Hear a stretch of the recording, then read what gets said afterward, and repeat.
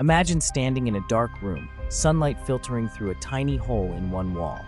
Suddenly, a vivid, upside down image of the outside world appears, glowing softly on the opposite surface.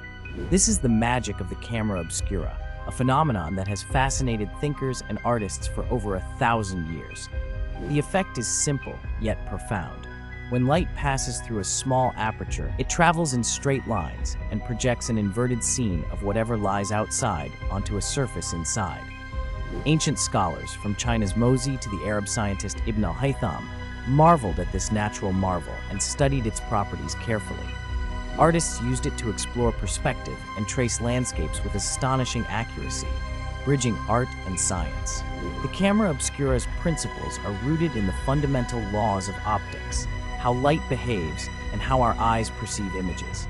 Its enchanting projections helped unlock the secrets of vision, paving the way for inventions that would forever change how humans capture and understand the world around them. The next time you notice sunlight sneaking through a crack or a pinhole, remember, you're witnessing a centuries-old intersection of art, physics, and the beginnings of visual technology.